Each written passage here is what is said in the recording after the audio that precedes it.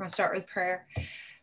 Gracious and kind Heavenly Father, we thank you for this day. We thank you for a brand new study. It's like opening, cracking open a new book, and there's just so much potential and possibility out there for what we're going to learn. We thank you for this platform, this amazing technology that allows us to be together, to see each other, or you know, if possible, to eat, to hear from each other, and to interact and engage. Our goal, Father, is to be in your word. Our goal is to learn from through the Holy Spirit guiding us that we would uh, but that we would study to show ourselves approved workmen who need not be ashamed, handling accurately the word of truth. So we thank you for that opportunity. We thank you for the preservation of your word, that we have it. And we thank you that you have given us minds and ability to come together and reason together. So we ask that you will guide our discussion today.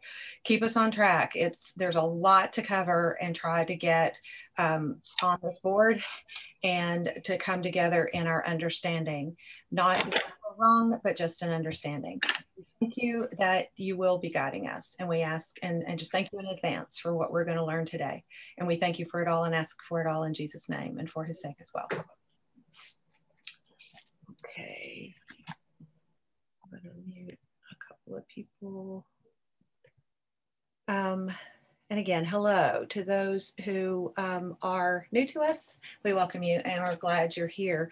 Um, I, and because of that, and even some that have been with me on a couple of studies, I haven't been doing orientation sessions. And so I'm going to spend a very short period of time talking a little bit about what are we doing here? What is this lesson about? What is the precept method? Um, precept Bible study is based on the inductive study method. And inductive means that you are going to the word yourself yourself and you're learning from it. Yes, there's guides. Yes, there's tools. Yes, there's discussion like this where we come together. It's not like you're all on your own, but you can be equipped to take this method and go into any study in the Bible and study that book for yourself. And, and that's just incredibly important. Um, and so, um, you can also uh, chat. There's a chat feature in Zoom. And if you have a question, you can chat it in or you can unmute yourself and ask. I will try to keep track of and, and look at that, but I don't always. So you might have to bring my attention to something. But as we study, as we open up this book of First Corinthians, and you've done your work this week, or you tried, you, you, might have, if you didn't know what you're doing, I've been there. And basically, if you look across everybody here, whether this is their first precept Bible study or they remember their first precept and second and third and whatever precept Bible study, we can all say that we remember a time when we did not know what we were doing. and so just answer the questions as you think you should answer the questions as Kay answer uh, question asks them in the workbook. Um, if you have other questions, um, I meant to get my How to Study Your Bible book but there is a book through Precept Ministries called How to Study Your Bible, and it describes the method. So if you were in a question in one of the studies and you really weren't sure what she was asking you to do, you could look at that reference. You can find that on the Precept website, or you can probably buy it, you know, from a bookstore or from Amazon or wherever else. I like to buy directly from Precept because it helps the ministry out that much more, gives more of the money into their pocket. But you can also get it wherever you can find it. Okay, so that's a little bit. So when we do an overview, that's what this lesson is about. This lesson is called an overview. We are not looking at detail. This is the idea of flying really high in an airplane and you can look out and you can see the lay of the land if you've ever flown out over the like Midwest and you see the patchwork, you know, where farms or whatever, here in East Tennessee, you're going to see, you're not necessarily going to see the mountain ranges, like you're not going to be able to notice that, but you're going to see the difference in, in waters and trees and plowed fields and roadways. You might not even see that much detail at this level. You're just going to see the overview, and that's the goal. So, our goal is to look at all of First Corinthians today through last week in your study and to come together. And I've got this up here that's supposed to kind of look like your at a glance chart that you have in your lesson. And if you want to get that out, that would be great. Get out anything in your study. And the thing I don't do is I don't say, look on page four and answer question 1B. That's not how we do this. What we've done is you've done your work. We're coming together to kind of bring it all together. And the other thing I want to tell you is there's not necessarily right or wrong answers. Like whatever I put up on this board is one way to say it maybe a good way. You may agree with it. Um, at some point, my way, that doesn't make it right or wrong. But I hope you'll see that there's a few things that we like to take in order to get these like chapter titles. And that's like even taking the words straight from the chapter rather than making up your own words. Take words straight from the chapter that'll help summarize that. And the idea why it's called at a glance is that you could literally take this chart and at a glance remember what this book was about remember what that chapter was about remember what that section might have been about that set of chapters might have been about and be reminded so obviously on this we can't rewrite the text we can't rewrite every chapter that's what the bible is for Another is in your workbook at the back in the appendix, you found what we're called observation worksheets. All that is, is the text printed out for you with wide margins and double spacing so that you can write on that. If you're not comfortable writing in your Bible, I am now, but you may not be. And it's kind of nice sometimes to have a clean copy not something, especially if you have a Bible that has commentary in it, because in the inductive study method, commentary is the last thing we do. And we, I, if you want to follow the rules, don't look at your commentaries until Kay tells you in the workbook to do it. The idea and the reason for that is so that you have studied rather than listening to someone else prior and going in with a prior thought, a bias, or whatever else. Uh, we all come with bias no matter what because uh, we have backgrounds and certainly we have influence from our past and from our church and all of that. Not all of that's bad, but um, we want to try to take our minds away from that. So if you have a Bible that, if you're reading a Bible that has a lot of commentary in it, it's almost impossible to not read that commentary. So having the observation worksheets are great that you can go to those clean copy, make notes on it, make your list, write on those, do your marking and whatever else, and not do it like directly in your Bible necessarily. But if you want to do it in your Bible, you're welcome to do that as well. Okay, so on your at a glance chart, it talks about the book theme and it gives each one of the chapters, um, and we're going to write those out. And on this one, it talks about segment divisions with major divisions and problems or topics. So they've given you a little bit of a hint in that sometimes there were lines already drawn to show you some idea of what maybe some of those segment divisions are. It also talks about the author, the keywords, the purpose, the historical setting. Now, whenever we look at a book as a whole, as we're going to do in First Corinthians, we can learn straight from the text without going anywhere else a lot about the context, why it was written, who it was written to, and or what was the purpose. In this case, we know, and I'm gonna start asking questions. First Corinthians is what type of literature? Epistle. It's an epistle. epistle. What's what's a modern day word for epistle? Letter. Letter. Okay. And so in any letter that because we're all familiar with letters, there are two things that we know about. And what is that? It's written by somebody and it's going to somebody. Very good. Written from someone, going to someone. And that someone, either side, can be multiple, not necessarily just one person. It can be a group. So in this case, this is an epistle, this is a letter written by who? Paul. Paul. So Paul is the author. And who is it written to? The saints and uh, the believers in Corinth. Right. There's a town called Cor- Corinth This is not just written to the city or the town, this is written to the church, the believers in that town. And as you looked through this week, you were asked, Tell me some things about the Corinthians themselves. What did you learn about them? You found idol worshippers, a lot of them. All right. They had been and they're still struggling with that right. They they came out of idolatry. This is not a christian town. This is not even a jewish town. This is a town of completely something else. And and what else do we know about them? They were infants in christ. Okay. Paul calls them infants in christ. That means they're at the beginning stages of their walk with christianity right? Okay. Who birthed them Who's their parent? Jesus. Jesus, yes, definitely. I mean, all salvation comes from Jesus through the Holy Spirit. We can't take credit for any of that. But for Paul and the Corinthians, how did he describe their relationship? He was their spiritual father through the he gospel. Was, absolutely. He was their spiritual father. That's, uh, in other words, he wasn't necessarily, a, uh, he he would say they were brethren, so they're they're brothers and sisters. Um, they have that relationship, but from a spiritual standpoint, he was the one that went to them. He's the one that started their understanding. He brought the gospel to them. For those of us who have studied Paul in other settings, like in the book of Acts, we saw that Paul's pattern was to go where no one else had been.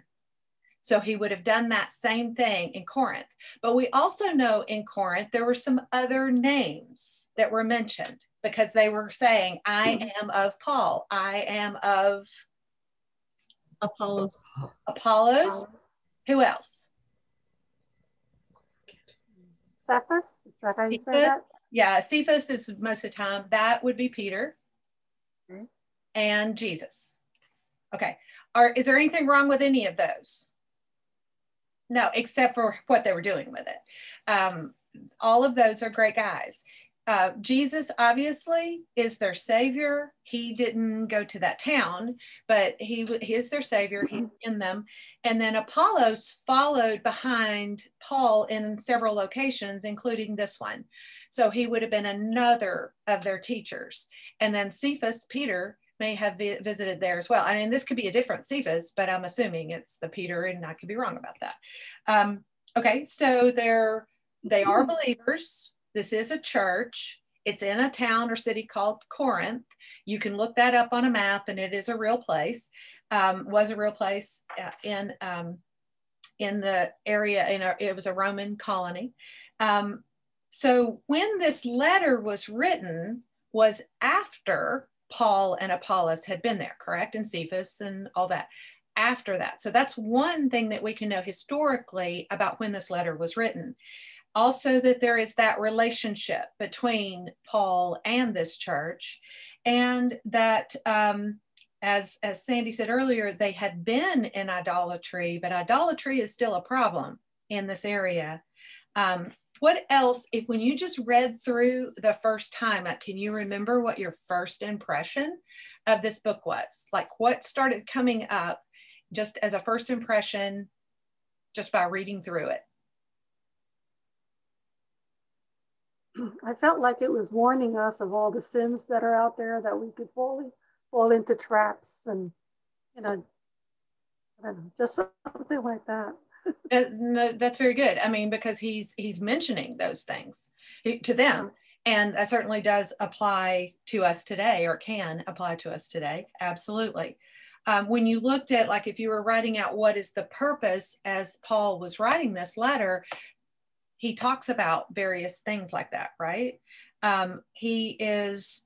What are some of the other things that you saw as maybe the purpose for Paul writing? Some of the things that just came to the surface um, as you read through?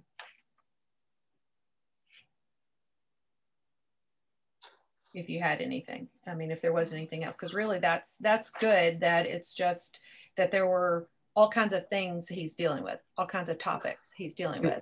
They were boasting and arrogant.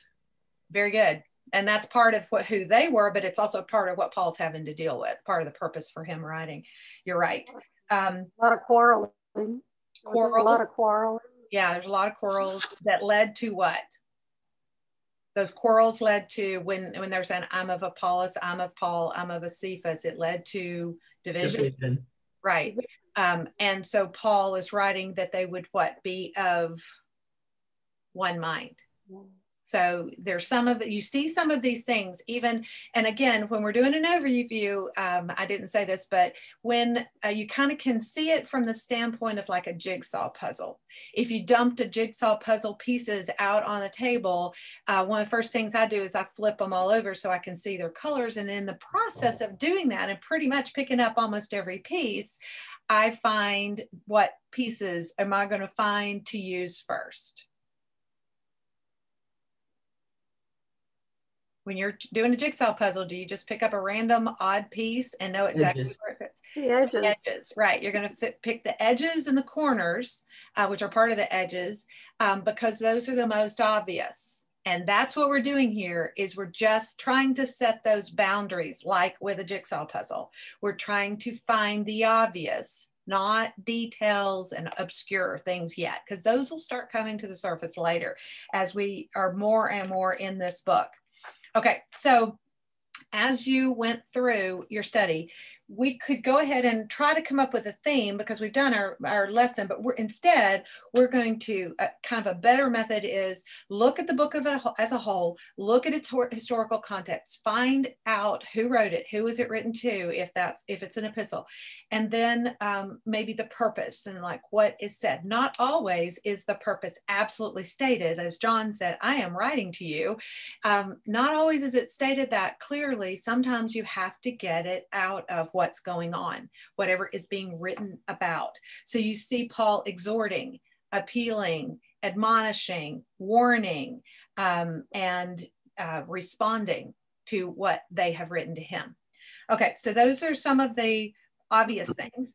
And now let's get a little bit more into the individual book, chapter themes. As we do that, remember, again, not right or wrong. I want to be, I want you to not be discouraged if you wrote something down and it's not what I write here. Okay. Don't erase yours because that is what you studied and that is what you got at the time. You might want to also write this down if you choose to, or write it on another piece of paper. You might have, in the beginning, I used to write mine in pencil, but I was tempted to erase it. So don't do that. Um, if you wrote something that had nothing to do with that chapter, then that would be, quote, wrong, but not right and wrong as far as good and evil. Um, and I'm not even going to call you out for it being wrong. So don't worry about that. But as you went through, we looked at, well, before even we get to the chapter themes, she had you look at chapters one through six. And then she had you look at chapters seven to 16 if we were just being logical and looked at this book, there are 16 chapters. We might have said, let's look at one to eight, and then let's look at nine to 16. But there was a reason and a purpose for her having you go one to six and then seven to 16. Did you discern that? Did you discern why she had you divided that way?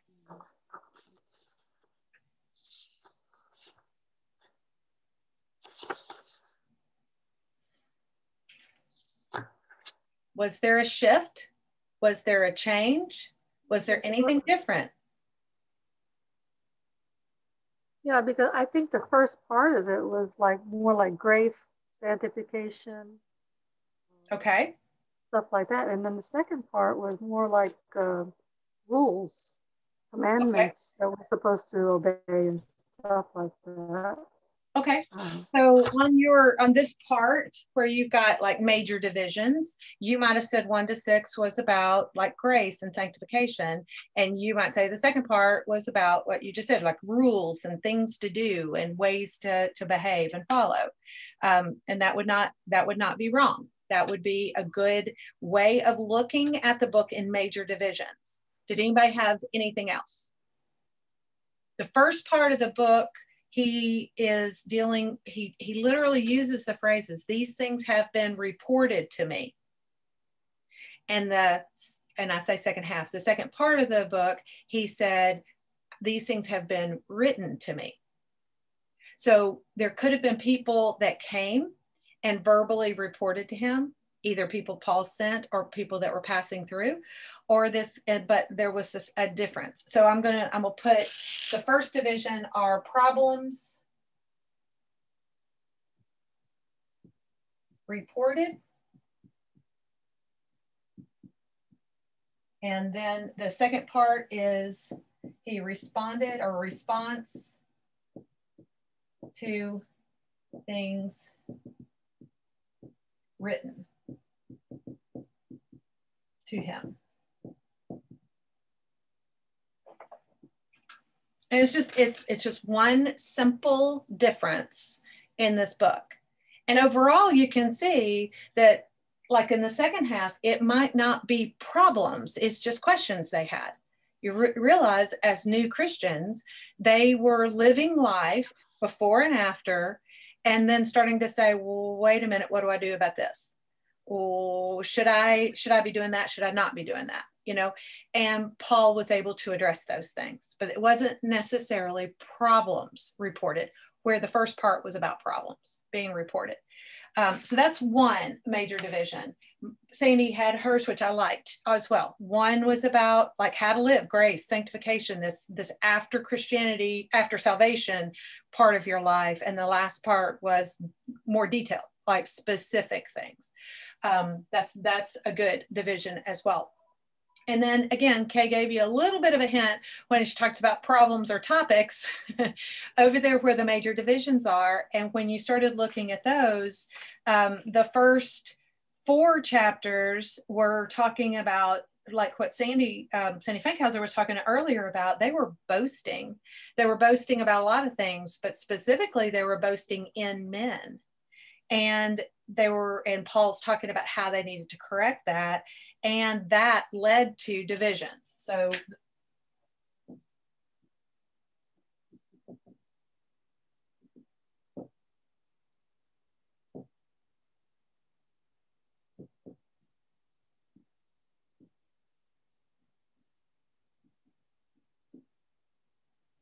not right today.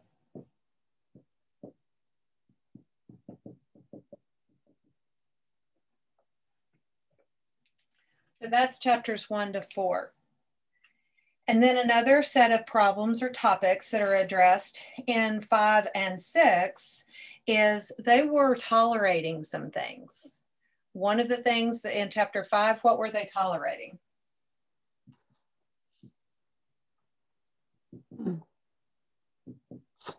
Immorality. Immorality. Right. And it was very specifically described and told, but they were the broad topic is they were allowing for and tolerating immorality, and he he was uh, admonishing them for that. In chapter six, they were allowing what what else?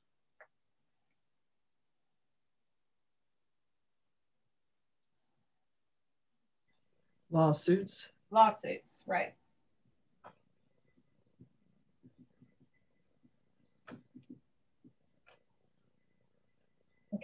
And I just wrote in church because we're not worried about how the world performs. We're not worried about what's going on out there. We're worried about what's going on in the church. Okay, so allowing or tolerating immorality in the church and tolerating lawsuits in the church.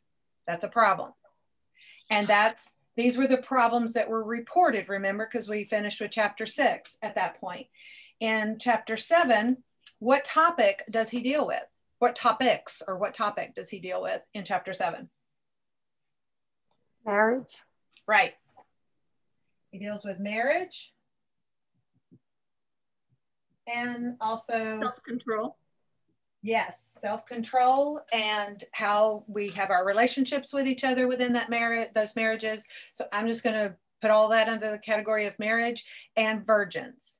Um, he kind of specifically talks about those and gives you know, he just deals with that topic, that those topics. Um, and in eight, nine, and 10, if you're another division here is what is he dealing with in those chapters? What's the topic? Idols, sacrificing to idols. It's, yes. It's things, um,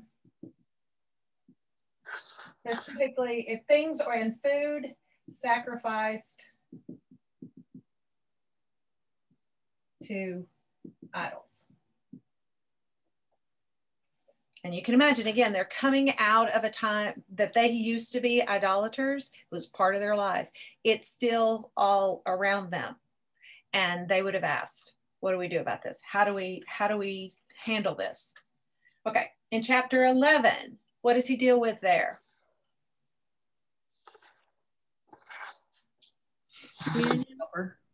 I'm sorry, I heard more than one person. the Lord's Supper.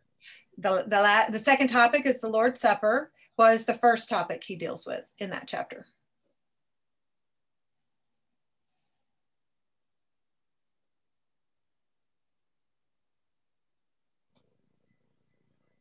Abuse and freedom of worship. That's a good way of putting it. Um, yeah, False prophets. Like false prophets, imitators. okay. Um, in the in the okay, well, he's saying being imitator of him, um, as I am also of Christ, and then he starts talking about kind of order. How Jesus is the head of the church, the man is the head of the family, the or the head of the household. The wife is supposed to have her hair covered. Uh, it's, it, we'll get to this when we study this chapter, so just hang on. And then um, as it comes through that, it also goes into the Lord's Supper, and this is a passage. It's very familiar because it's probably read many, many times in many churches during our our practice of taking the Lord's Supper or communion. Um, and so to put just one word to all of these, which isn't, this is, I'm gonna break my rule, it's really not a word necessarily in here, is these are like traditions. These are things, the practices or traditions and things that were going on and would be going on in the churches. So I'm just gonna put traditions here. Or you could put practices.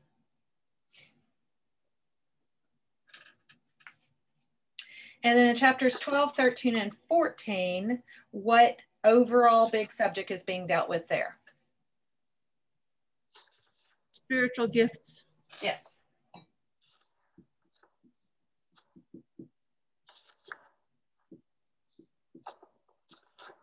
and that's another big topic that when we get there um, will be great for us to to get some handles on in chapter 15 there's like two different topics that are discussed there. Starts out with a definition of what? Grace. um, it is grace but specifically he says a different word. Starts with the same letter.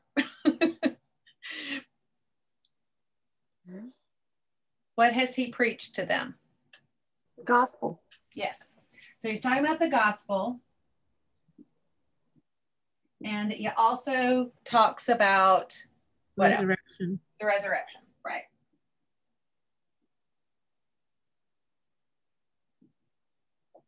Apparently, these have been things that have been asked of him, and he needed to give them clarity. And then in chapter 16, what is chapter 16 basically about? Collection, money collection. Yeah, the collection for the saints.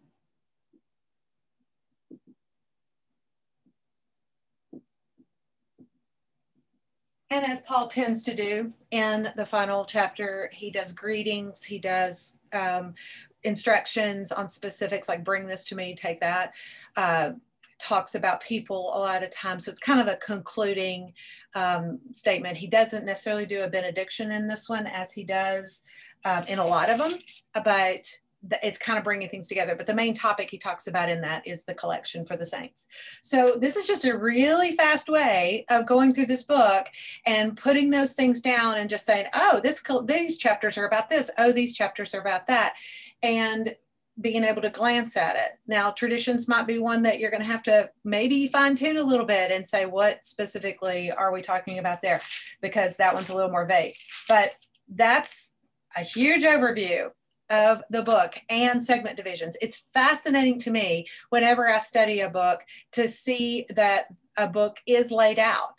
I mean, uh, we have a tendency to just read it and just go from one thing to the next. But there's order to this, there's thought process. Remember, all scripture is in, inspired by God and profitable for teaching, for reproof, for training in righteousness, that the man of God or the woman of God is equipped and, and adequate for every good work.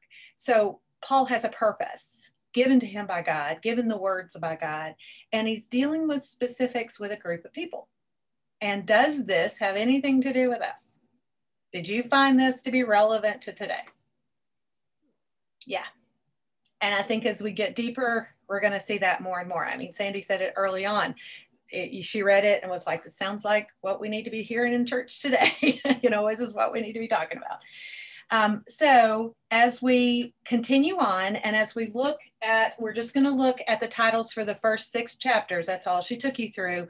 But as, just so you know, as we get further into the study in, in coming weeks, when we get to chapter seven, eight, etc., you're going to start putting, filling that part in as well. But for now, we're just going to look at these first six uh, chapters to get their titles. So in the first chapter, um, what specifically is he dealing with?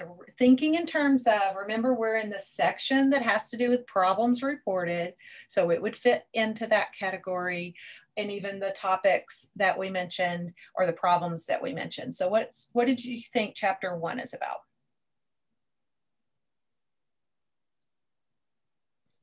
An appeal for unity? Definitely an appeal for unity because what in the opposite is happening? what problem what problem is he dealing with? Divisions, quarreling, and boasting. Yes. So the problem is divisions. And that division is, I heard somebody say it, they're boasting, right, in different men.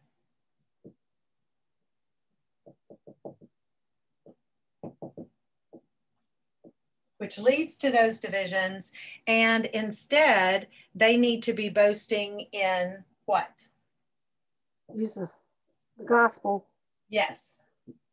And I'm going to say absolutely for both of those, but I'm just going to say God's wisdom because that wisdom comes from the Holy Spirit. So instead of boasting in individual men, they need to be boasting in because these men are good men. So that's not the problem. The men aren't the problem. It's that they're aligning themselves under a certain guy, and I'm in somebody's camp, and you're in that camp, and that's causing divisions because obviously if i want to be of paul's camp and you're of apollos' camp then you think your guy's better than my guy and i think my guy's better than your guy and that's just causing problems and it's totally unnecessary and paul is saying if there's any wisdom the wisdom's from god if any of us are speaking wisdom it's from god boast in that boast in god's wisdom don't boast in men's wisdom so that's the deal. There's more to it. You'll go into more next week, but that's the overall theme, or is a way of putting the overall theme of chapter one. Now, what about chapter two?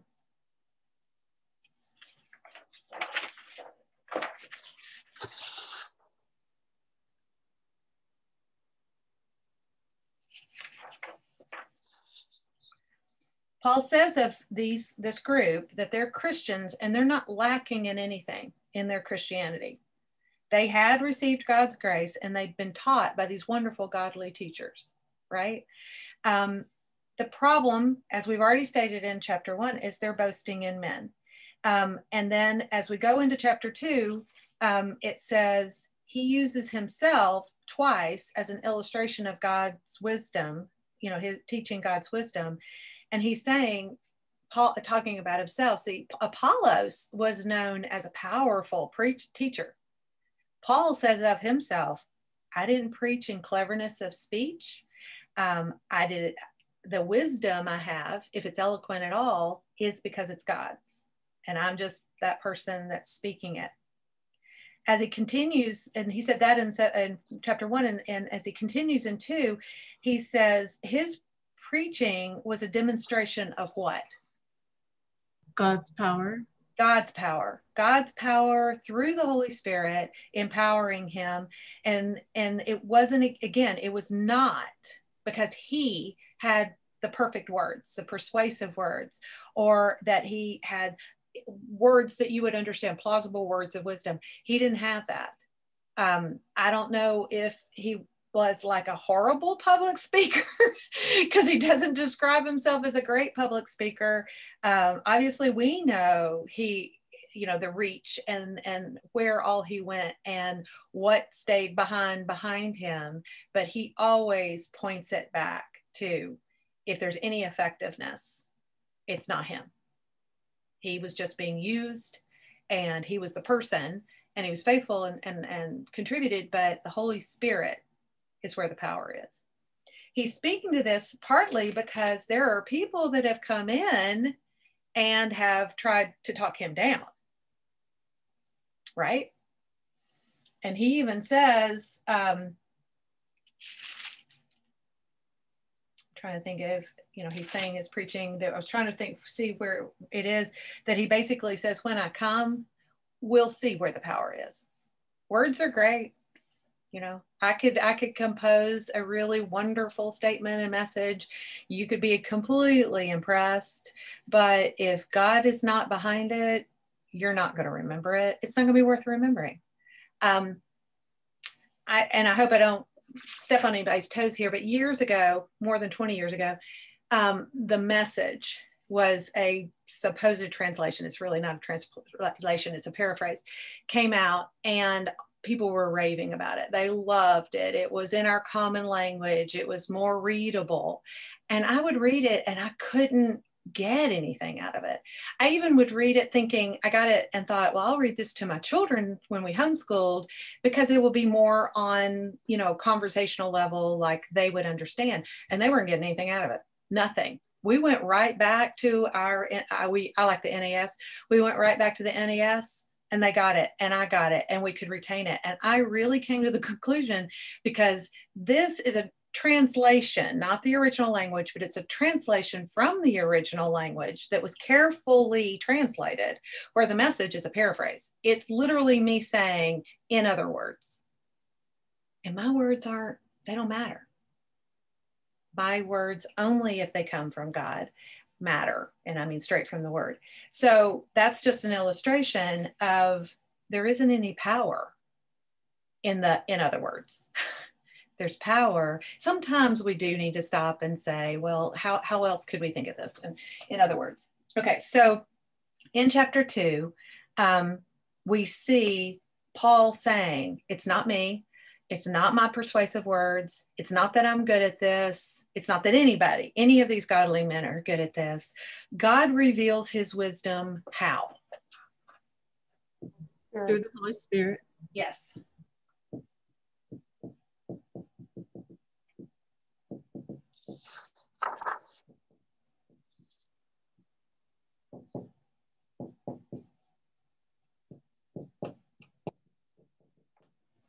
God reveals his wisdom through the Holy Spirit or through his spirit. In chapter three, he's dealing with a problem we've mentioned before in a description of who they are and what is Paul saying about them? What is the problem that he's addressing in chapter three?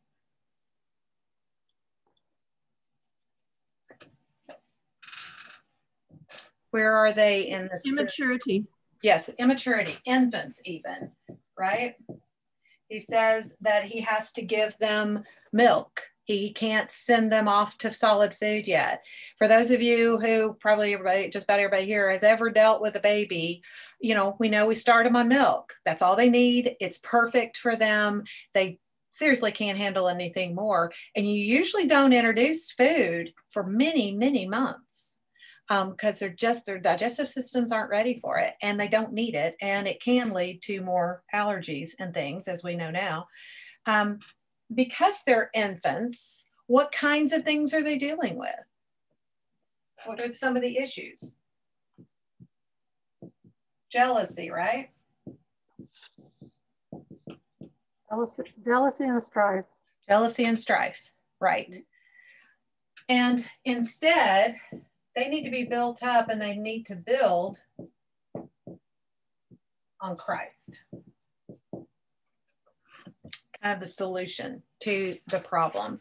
Um, whenever Paul says you're still on milk, that is something that was needed, but you need to move up, move on. You're not going to mature if you if you and I and all of us here were still drinking only mother's milk. Would we be healthy? Would we be able to be the age we are? No, we would not be healthy anymore. That's what's needed in the beginning, but that's not what you need pretty quickly after. You should be cutting your teeth and you should be on solid food. So you, there's a, a process. The fact that they're infants still means that there's this jealousy and strife going on, that immaturity is showing, but instead they need to build on Christ. Okay. And in chapter four, still we're in the part about boasting in men, how he needs to correct this and how it's led to divisions. What's he dealing with in chapter four?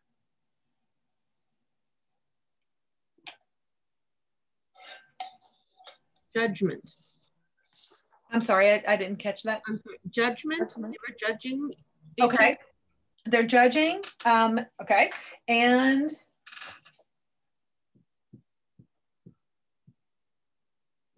would be an a outcome of that um, infancy and jealousy. Um, Arrogance. yes. So he's telling them, don't be, right? Don't be arrogant or boast. And he says, in this case, not just about men, he names two different categories, like what he is, what all these other people are. He says there are two, there's two S words. He calls them himself and those that are working. He calls them what two things? Servants and stewards. Yes. Servants and stewards. Okay. And if you have the attitude and mentality of either a servant or a steward, and we're going to go into detail when we get to this chapter of what each of those categories are, but we have an idea of what they are. Both of them are workers, they're under some authority, they're doing a specific task for a reason, and that's not a reason to boast. And that's not a reason to be arrogant. And in this case, it's not a reason to grab onto one of those and boast about them and be arrogant about them. They're doing their job. That's not what you're supposed to be about, um, and not be careful. And um, I mean, we can all fall into this, uh, whether, I mean, we have denominations for a reason. Some of it's good, not all of it's bad. And I'm not stepping on anybody's toes because not all anybody here can possibly go to every church out there. That's not how it works. You know, we pick, we choose, there's reasons, hopefully good ones. Um, but some of the reasons behind denominations are there you've got a, a splitting of ways, uh, difference in thinking, teaching, or whatever. Um, but it can lead to people saying, mine is better. You know, yours is not as good as mine. It can, it doesn't necessarily have to. Or you can get away from denominations and you can get to, um, you know, how many times people come to Precept Ministries and literally say, I just want to sit at the feet of Kay and all the people there that know Kay and know what she's like, and it's really hard not to think very highly of Kay because you know she she's worthy of of some honor, but they always say, well. Put on your running shoes because she rarely sits still. you know, you're not going to be able to sit for long because she's on the move and of course their their their uh, thought is that they're coming to learn from her but kay's not looking for worship. She's looking to point you back to the word and back to god. And if she can be used to do that great. Uh, but you know she didn't start out to make a name for herself. That wasn't it just it god made it happen. So we all need to be careful of this. We all need to be careful that we don't think that our little piece of the pie is the best one. and if you want to be glad you are where you are, I'm all for that. Um, just be careful that you're not, you know, in judgment, as we said before, of someone else and whatever their choice is. But just everybody, somebody's got to go somewhere, and that's what we need to be glad about. Okay, in chapter five, there's a very specific topic and problem that's being talked about there. We've already talked about it in our broader topics and what is what's being dealt with in chapter five. Disorder in the church, immorality. Immorality, yes. Um, and specifically are surrounding one person, a man. What is the solution to this problem? Get rid of him. Remove the uh, wicked. Yeah.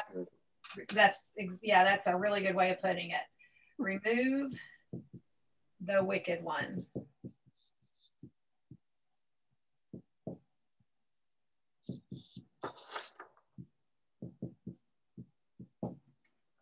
And as I've said before, and we'll say it over and over, we will study this further when we get to that chapter. It is one that if you've been with me for five seconds, you know I quote this chapter a lot um, for several different reasons. It's a very, it's a short chapter and it's powerful. Um, and it is something I will say the church needs to be listening to. They're not doing a good job here. But again, before we move on, it's not our hope and our goal to find people and kick them out of church. But sometimes it's needed. What is the goal? The goal is for them to restore. The goal is for them to see their wickedness and to restore. And remember, it's here very clearly said we're talking about within the church, we're not talking about the world. The world is going to act like the world. We used to be one of them. We know what that's like. The world's going to act like the world. But once you get saved, once you call yourself a Christian and are within a body of believers or just calling yourself a Christian, you need to start acting like it. And that's not something that can be tolerated. And we'll go into that when we get into it further. But this is not something that's going on in most churches very well. And in chapter six, what is the problem being dealt with there? Uh, legal cases. Yes, the lawsuits. Yes. And again, he's talking about lawsuits within the church. Believers should not be, that that could be and should be handled in a different way. There can be problems. He's not saying don't ever, you know, do anything about it, but there's a way. And that we would want Christians to be looking at our situations and helping us discern and helping us rather than going to people that aren't Christians and putting our hands, putting ourselves in their hands and putting our fate in their hands, which is not good. He tells them also, again, talking about immorality, to flee immorality. And ultimately, they are to glorify God, right?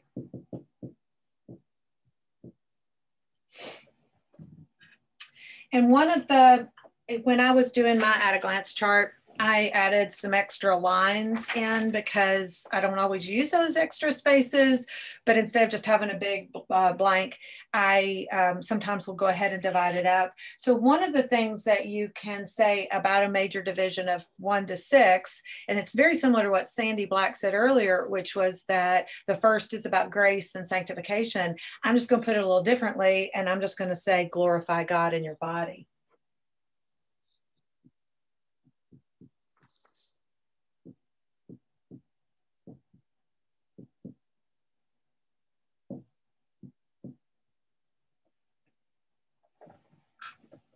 And it's just another concluding statement or segment that's being discussed there.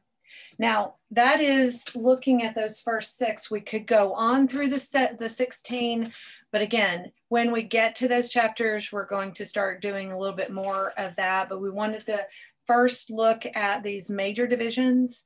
We just handled the first major division, which are the problems that have been reported to Paul, that Paul is talking about and dealing with. And these are major problems. And these are problems similar to problems today. So it's very relevant. The second part are the specific questions they had written to him about, specific topics that they asked him about. And so he's writing in response to that to address it.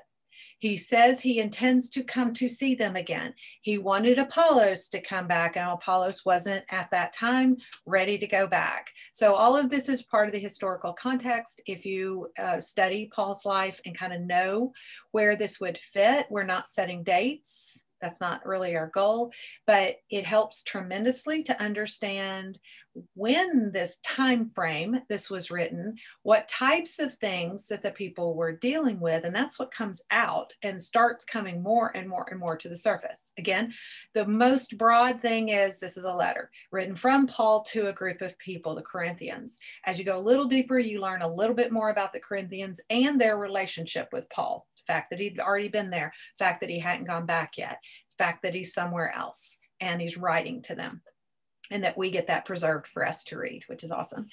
Um, and you continue on, you see a little bit more of the details, but not not huge detail yet. As we start next week, you're going to do a chapter study of chapter one, and you will go, you'll slow down, and that's the beauty of bible study is not just reading it which is awesome and is a great discipline because that gives you an overall perspective of the bible and a familiarity with its topics and a familiarity with god and his ways. But bible study causes you to stop and go deep. And that's what we're doing is in bible study. But even in this lesson this is more broad and big and fast.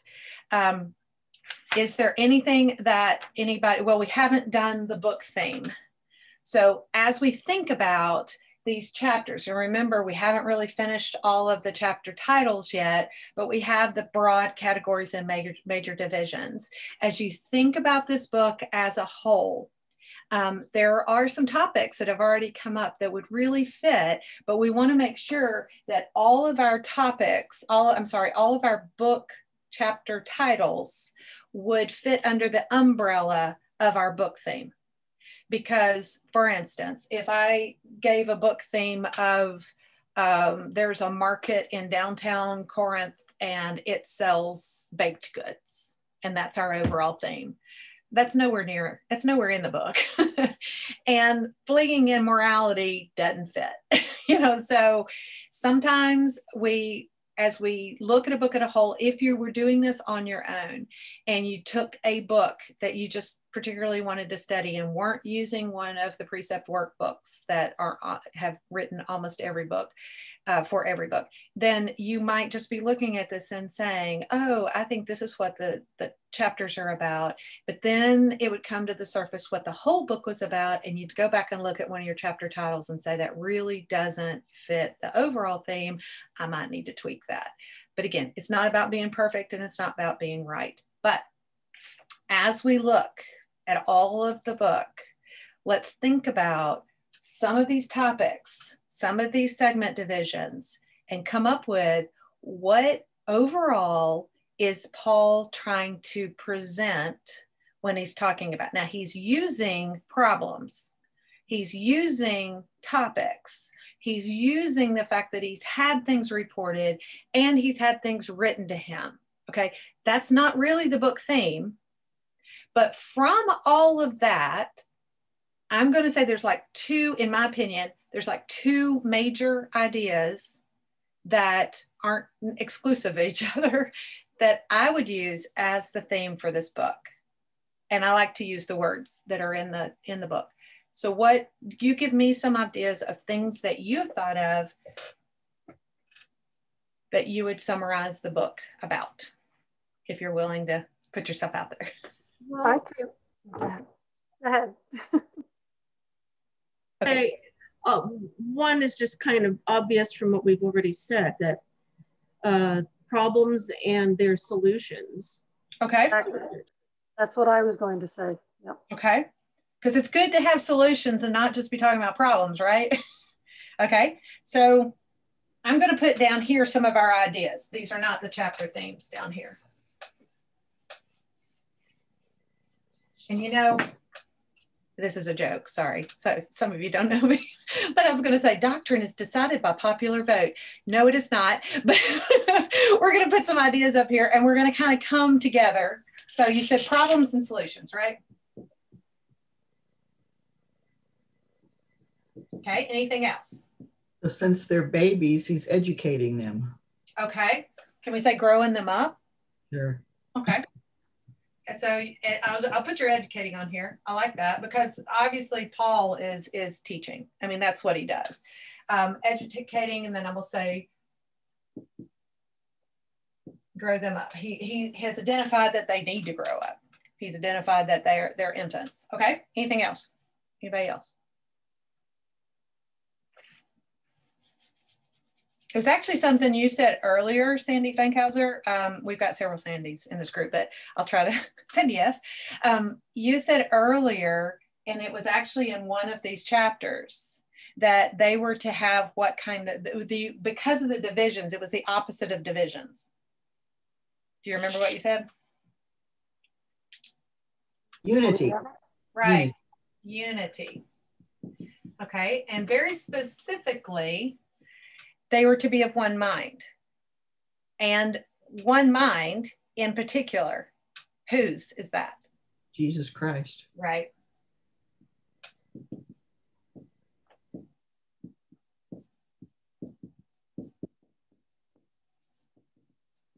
Okay.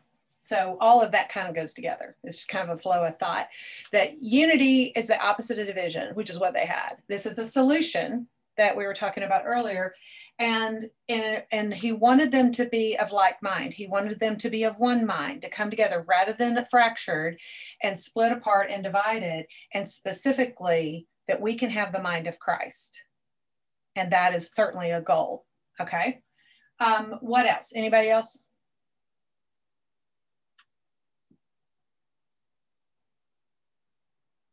Many of these things are dealing with these topics and these problems are dealing with obviously the body of the believers, but they're talking about the individual. They're talking about marriage, being married, staying married, not staying married, being a virgin, not being a virgin. They're talking about a person fleeing immorality, not being in immorality, not eating food sacrificed to idols, not having lawsuits outside the church, talking about the spiritual gifts that the individual has and collectively they have as a church. They're not lacking in any gift. That doesn't mean the individual has every spiritual gift. It's all of the individuals put together. That church does not lack any spiritual gift, which is probably true of any body of believers in good. God would place those body uh, those in there he talks about the gospel and resurrection and obviously that's important to each of, of us in collection for the saints. I'm just looking at the topics. So i'm just trying to get to basically this this statement i said as a major division that we're to glorify god in our bodies or through our lives. So i'm gonna put that up there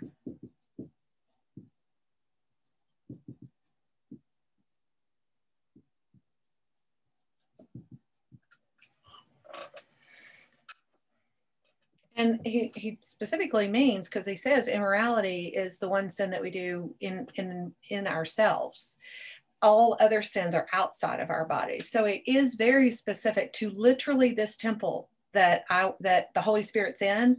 And as I had a pastor once say, the temple used to be, you know, a building and i'm just reading about that in second chronicles. Solomon just dedicated the temple. It was literally a building. And he even said it cannot possibly contain you god. It can't contain you. Yet god showed up and the thick cloud filled it and the shekinah glory would be over it. And he gave a visual presence as well but now that building stayed in one place and people had to go to it. Or as Solomon said, if we're in another place, we look towards it and we reach out, stretch out our hands to it as we pray and as we give our supplications. So that was a, a specific in a spot. Now we're told we are the temple. This shell, this earth suit that God gave me contains now the Holy Spirit. Yours does too. Yours does too. You know, everybody on here, yours do. We are a temple without walls. We get to walk out into the world and take the Holy Spirit with us now. We don't drag a body into a building and say, now you're in the presence of God. So it's it's an awesome concept. So again, glorifying God in our bodies is really important. And living this out in the world is very important. So um, sorry, I sermonized a little bit. Um, anyway, so we're getting back to our thing. And these are great topics. We've got problems and solutions, educating or growing them up, unity, one mind, Christ mind, glorifying God in our bodies. Now, if we were to look at just these on here, if we looked at lawsuits, fleeing immorality, and glorifying God, or if we looked at infants, jealousy, strife, building on Christ, um, would all of these fit under one or two or three of these? You know, we're trying to keep it as, as, as concise as possible. But um, if you were to step back and say, this is what Paul is is overall he's dealing with problems he's dealing with topics he's giving them solutions absolutely he's absolutely doing those things but in doing so what is his goal for them what is his hope for them and you can pick from some of this i'm kind of guiding you in a direction i want you to go any, of, any of these are good go ahead growing in christ okay growing in Christ. Um, gonna, okay, I had grow him up, so we're gonna kind of. You're gonna say okay. You're gonna say grow in Christ.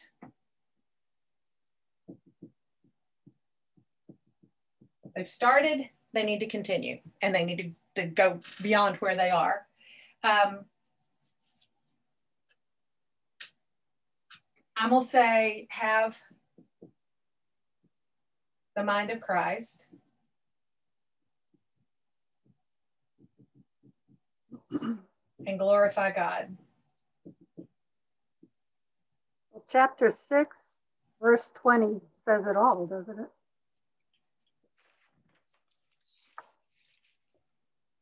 You've been bought with a price. Therefore, glorify God in your body. I definitely think glorify God in your body is part of it. Absolutely.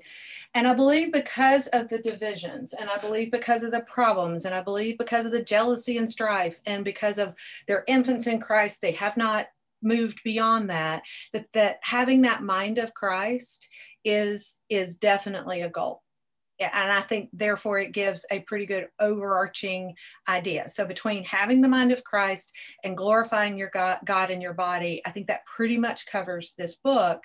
Growing up in Christ, uh, problems and solutions, all of these are good. So they're not bad. And if that's what, and then really problems solutions is great because that's what technically this book is about point by point. Um, and if that is what you would glance at and know what First Corinthians is about, keep it. That's yours. That's great. Um, for me, I'm going to stick with the mind of Christ and glorifying God in my body um, because that's body, mind, and soul.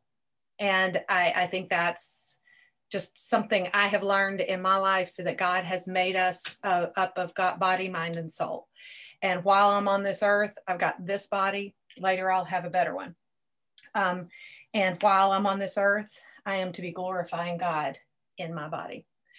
But having the mind of Christ is something that helps me with that. So that is, we're going to stop. We're really at the end of our time.